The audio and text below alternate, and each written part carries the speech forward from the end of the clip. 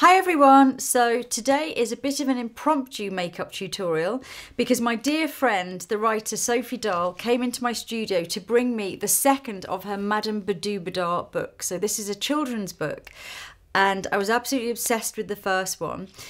And we started sort of reading through it, and she was showing it to me. And there's a whole section about Madame Badobedah's dressing table.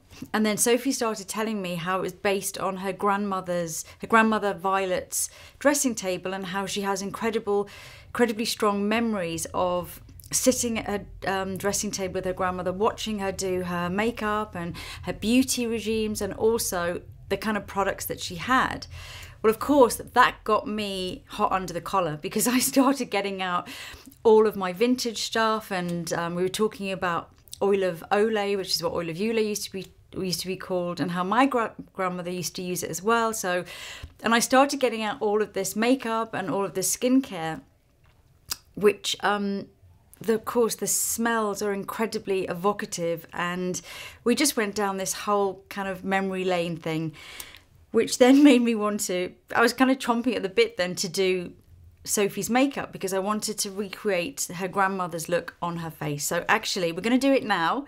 She does have to pick up her daughters from school so we haven't got long but i just thought this is too good an opportunity to miss. And i actually had some of the um, eyeshadows and things that sophie spoke about that her grandmother used to use. So um, this is kind of a tribute, I guess, to her grandmother Violet that was known as Lainey, and she sounds like an amazing, amazing woman. So we better get started. So I'm loving this impromptu makeup session. We have a little bit of foundation on, a little bit of concealer, touch of brow pencil, but essentially we're kind of going to recreate your grandmother's makeup. We're going to do grandmother's homage to the 50s. Yes. Um, Tippi Hedren in the Birds. Fantastic. Yeah. Great. Well, we're going to start with. I know this was this was one of your granny's favourite eyeshadows. She loved she loved Bourjois. And does it smell? I wonder does it have the same smell? Yes, they smell they smell like sweets. Mm. So this is a really great shade as- as well for this um, era. Really beautiful sort of sky blue. And then some of the stuff that we're looking at out there, we've just pulled in here. And I know that this is one we have to talk about. And I actually haven't smelt it yet. I'm going to crack on with your eye makeup. Okay. So on my grandmother's dressing table, there was always oil of Ulay, Mm-hmm.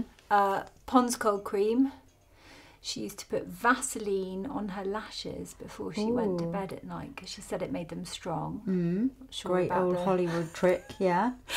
um, and there were the Bourjois pots, and then a lot of Elizabeth Arden, who she called Lizzie Arden. Mm. Fantastic. Um, and my other grandmother used to call um, Chanel number five Chanel five. So it's, yeah, oh, very in the nice. know. Can I smell the oil of you? Yes, please do. Packaging is so beautiful. Oh my god, it's heaven. Smell that. Oh, that is my grandmother. That is my grandmother. I'm going to cry. Oh, that's really like. Yeah, I know. That's hit the spot. I I felt That's made me feel really emotional. felt like that about the powder, about the Yeah. Elizabeth Arden powder. It's um, it's so so potent, isn't it? Yeah. The power of scent just to totally throw you back. Connection is Yeah. so intense. I got I got goosebumps. Yeah, me too. Look, that. I'm goosebumpy. Oh, I want to smell it again. It's like, yeah, you're bringing them back to life. Yeah. It's, Well, I after my grandmother died, I inherited her dressing table, and actually, I found it too painful to have around for the first couple of years, just because when I opened a drawer, it smelled like her perfume, and I couldn't. Mm. It was it was just too much, but actually, I use it now, um, and my kids will. Which perfume did to you me. use? She wore Oscar de la Renta. Um, and so when you'd open the drawers, it smelt like a mi- mixture of Oscar de la Renta and then her face powder. Um, and yeah, it's it's sort of. It was like this face stepping- powder because these were all Yes. from my vintage collection. So I've got all of this stuff. So this is the um, Ardena powder, and um, it came in this box, Ardena So Invisible pretty. Veil. And the colours are quite extraordinary, aren't they? I mean, this one, hopefully, oh, there we go. Yeah, I mean that is another potent kick of a. incredible. But they're so And pretty. the tangy, I know. Look Look. how 50s that is. Yeah, 50s, sort of early 60s. You smell that one? yeah. They. I don't feel like face powder smells like that anymore. No, no, it's really something so potent. This is What's so beautiful. Oh, this is an eau de cologne, which I love that bottle so much. Look at that. The other one I really like, and I have to show you, which I didn't manage to show you before. Oh my God, I this don't is- know if your granny had one of these, Yes. but look at this. This is the travelling sort of vanity kit of the Ardena's skin tonic, eye lotion, all the different skincare in the pots. she had one like this. I think It's incredible. Look. L'Île de France. Mm. An excellent powder base. Oh. Oh, Especially yes. effective on the neck and arms. Oh, yeah, this looks like calamine lotion. Look, What's it, is. doing? What's it doing to the It's- arms? Tightening. That's what I want to know. oh my god, look at this one. The astringent gives smooth smoothness and firmness by tightening loose skin and flabby muscles of the face and neck. Do not leave on overnight. Why? What will I happen? know. oh, this sounds good. I'm going to try it. Flabby Try muscles are going to go wild if you leave it on overnight. I've looked at photographs of your beautiful granny, and she did like a lash, didn't she? That was kind of her thing. She liked a lash and a lip. So I'm going to do a really thin liner just to frame the eyes, and this will really also frame the lashes. So I have a question, re pen liner, Mm. which is how do you do the flick and get it the same on both sides? Okay, that's the uh, the million dollar question. So start with one side mm-hmm. and look straight ahead in the mirror mm-hmm. because that's when you can kind of see roughly where you want it to end up. Because if you do it when your eyes are closed, if you look in this mirror mm-hmm. now, you know when your eyes are open, you're looking straight ahead. Yeah. and you think, well, I actually need it to be wherever you want it to be, there or there or Yeah. there. It, that will look really weird if you're trying to with your eyes closed. But Yeah. if you say it's like roughly there, Yeah. then when your eyes are closed or you're looking down, just look down for me, darling. You've got somewhere to kind of aim for. I know it sounds. So you've got a bullseye. You've got a bullseye and Yeah. you're going in the right direction, even if you're not going to get the shape perfectly now, because obviously when the eyes open, it's a completely different matter. You're kind of heading in the right direction, and always keep some small Q-tips handy because honestly, these are essential, especially these ones, which are the bamboo ones. They're very, very small. They're just great. Looking ahead in the mirror, they just remove any excess liner and just help you to create the perfect shape. So then once you've kind of followed your guide, it still won't look quite right. Just have a look until you look, because look straight ahead. ah. So you want to get your shape as it is when it's straight ahead. Okay, so we all make the mistake of going that way when really we should be going that way. Yeah, I mean, it depends on your eye shape. This is the thing, and that's why it's kind of really good to keep looking back at your eyes open because, as lovely as it looks when your eyes are closed and you draw this perfect line, Yeah. you're not walking around like that and Yeah. you're talking to people, and, and people are sort of seeing you in action. So, what you want is the eyes open, straight ahead, like turn to the side and say, ah, okay, it's going to look good there. And if you have, like everyone has, different folds on both eyes, like no two eyes are the same.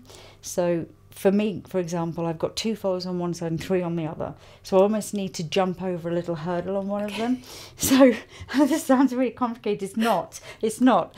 Kind of map it out where you think you're going to Yeah. end up. Then what I'm going to do is, yeah, I'll probably have Where to. do you want me? There. Yeah, so look at me here. And then I'll go back in. This is just with a powder with a damp brush. And I'll kind of just soften that line because here we want to sort of a suggestion of the liner to carry on over where there is your natural fold in your eye. Mm-hmm. So we don't want to kind of create something which doesn't actually work with your Okay, so you're following the fo- you're following the fold. Yeah, I'm just following Okay. it or going across it so that it, it's it's going to work for your eye shape. And then if you look that way for me, just over there, my darling, I'm just going to start into this inner corner. And if you kind of do this at the end, you get a nice little sort of finish to your to line. Let's see. And then we can soften all of this and look that way again. Actually open a little bit. And then just draw that corner. See, now we're getting, when you look straight ahead, now we're starting to get a nice Yep. shape and a nice swoop.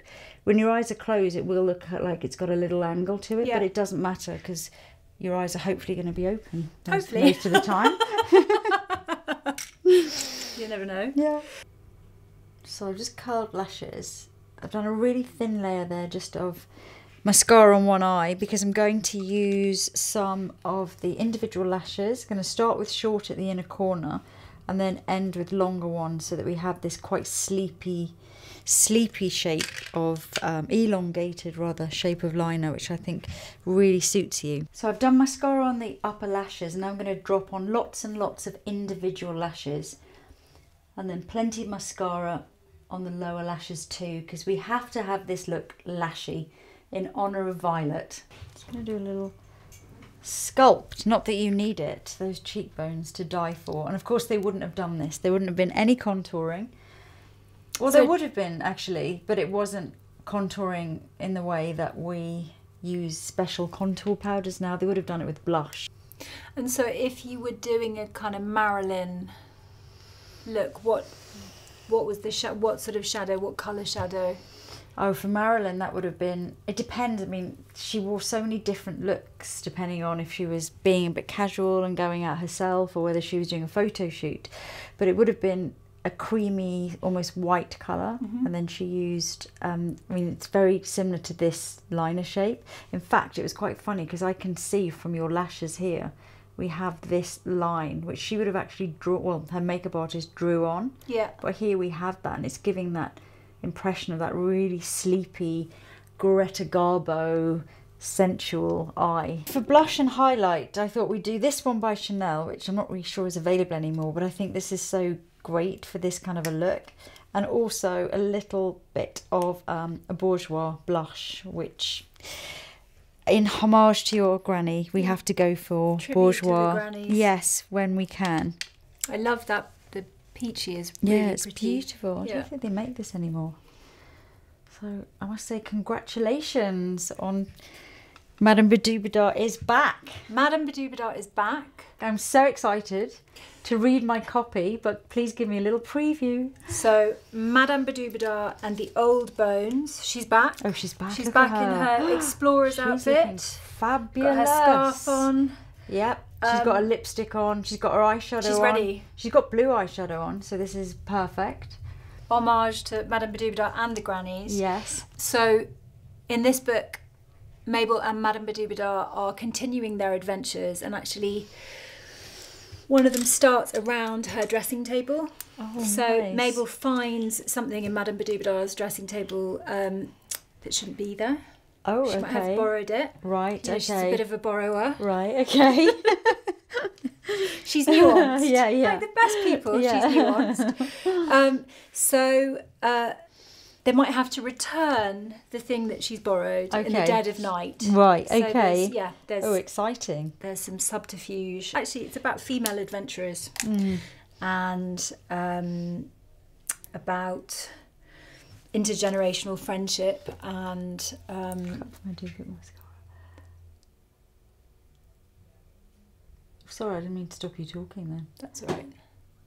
Um, I, I don't have that female thing of being able to uh, multitask. I can't, can't uh, talk and Sorry, yeah, I should. I, I've chose my moment really Eyelash. badly there. Um, no, the book is basically a story of um, unlikely friendship and adventure. Yeah, lovely. Yeah. I love the illustrations. They're so beautiful. So they're by She's Lauren just so O'Hara. fun. They're so beautiful. They just she creates worlds within worlds, and it's the thing I really, really admire in what she does. Um, and the detail Yeah. and the colour Yes. is so gorgeous. Um, and I think also there's something about returning to a world that you know already for both of us. I think for me writing it and for her drawing it, um, we knew we knew all the characters. We knew where we were going. The dressing table of dreams. Yes. This is And Stunning. that's the dressing There table. it of is. Look at all the pots. Yeah. And I sent her this. pictures of my grandmother's dressing table because when I was a little girl, it felt like there were 507 drawers. hmm Um, And did you used to look in all those drawers? yes, and they everything felt totally magical um, and mysterious. So there were little pots, and also sort of she'd had tons of boiled sweets and Parma violets and Just Um, random stuff. yeah, just weird random stuff. that little notes, little worked. letters, Yes. little. Yeah. Um, so old perfumes, letters. She had pictures in her dressing table. So under the glass, there were black and white pictures of everyone, Mm. Of and it just yeah, Glamorous nights out. Yes. I'm sure. yes, and old matchboxes Oh, everywhere. yes. As, and she didn't smoke, so I don't know what Yeah. she. Oh no, the, the matchbox thing was huge. Yeah. I mean, they even used to do lipsticks that looked like matchboxes. Okay. It was it was such a big thing. And did your granny have a dressing? Did she have? yeah, a she had a table? dressing table, and I used to lo- love to go. There was often a lot of photos in there that I used to go and look at. Um, she was definitely not as glam as my mum. My mum's, you know, still to this day, red lipstick every day. Yeah. Like, you know, I can go in very early in the morning and the red lips are already Yeah. on.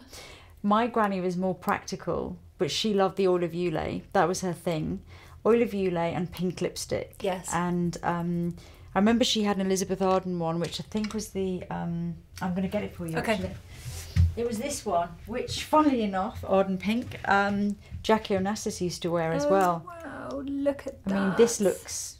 This has had seen better Wow. days. It It's quite has. old, yeah. But it Yes, it was. It, was quite a sort of. That will smell. It, but it smells like the theatre. Yeah, it does, doesn't it? Yeah. It really does. Heaven.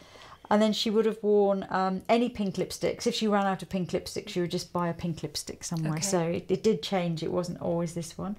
Um, but yeah, she would try um, lots of different pink lipsticks, and that was it. She was Did quite her- practical. did she paint her nails? Yeah, she loved the nails being painted. She liked me to paint her nails, and actually, the thing that I really remember about her is her nail shape. Yes. Like I can remember it so well because I used to paint her nails for her. I used to really enjoy to do that, and she used to like this like pink sugared almond color. yeah. That was her favourite colour. So I used to paint, and I can remember her, the shape of her index nails so well. Isn't that could- am- isn't yeah. that amazing? The microscopic. I remember my granny had very oval oval nails, and I I also remember that. And also, she used to wear um, a silk bed jacket, and it had ribbons. And I remember being a little girl and touching the ribbons on her silk bed jacket, and just thinking it was the most comforting Beautiful feeling in the thing. world. Yeah. Oh, it's so lovely. Please do let us know in the comments. We'd love to hear all of your grandmother's Yes. stories. That will be so fun. The granny stories. Yes, please. So I thought dance card for this look because it is perfect for the 50s, 60s kind of vibe. And I know you love the colour. I'm going to use a little bit of pencil first. And we're going to go pouty. You look like your granny. Your granny, um, Patricia. Yeah. Yeah. The, even the little dimple, everything. I can see the So well, shape. both. But I've got Granny Patricia and then um, Violet. Oh, Violet. Violet. Yeah, yeah, yeah. um, Violet was Isn't that a great name? Yeah. Oh, Violet's dimples. Yeah, Sorry, I've she got it ha- wrong. but she hated, hated, hated the name Violet, which I Did love. she? And yeah, so she was always referred to as Laney, because her last name was Lane. Okay. So she was she wouldn't let She anyone wouldn't call let- her Violet. Oh, I love that name. Mm.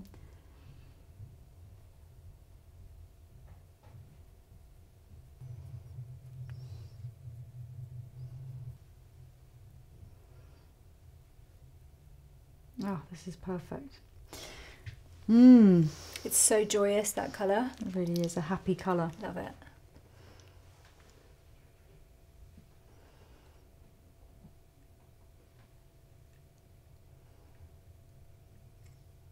Actually, now I have dance cards on my um on my counters. We made little dance cards so that when people are having their makeup done, they get a dance card and we write all the details on there. I think you are done. This is the impromptu tribute to our grandmother's look. Have a have a look. What are you going to do today? I'm going to I'm going to do the school run. Oh, brilliant. I'm Oh going um, to pick my, God. kids up Oh, from school. Right, I want to hear what was said. I need to know what other mums said. Well, I think my children will tell me I'm wearing too much makeup Yeah. and that I can't walk next to them. Right, okay, yeah, because they're at that told. age. Yeah, Yeah. they're not going to be into this. No. No, way. Horror. Horror, horror, horror. Oh, even better then. What fun. It's Sophie Dahl. I've crashed Lisa's studio this morning with my new book, Madame Badobedah and the Old Bones. The Dressing Table of Dreams. The next day was Sunday, and on Sundays, Madame Badobedah and I meet in room 32 for Elevenses, which is somewhere between breakfast and lunch and has a biscuit. Throw those curtains wide, darling, Madame Badobedah laughed. It's time to see what's in the dressing table of dreams. Pick a drawer, any drawer. Hmm. Drawer 503, please, I said. I think this is it, she said, pulling open a drawer near the bottom. A shimmering green light filled the room. Oh, heavens above! Madame Badobedah groaned and slammed it shut. What the dickens is that? I asked. Darling, it's nothing. I'd totally forgotten I had it. It's not even the right drawer. Shady, I said. Deeply suspicious, in fact.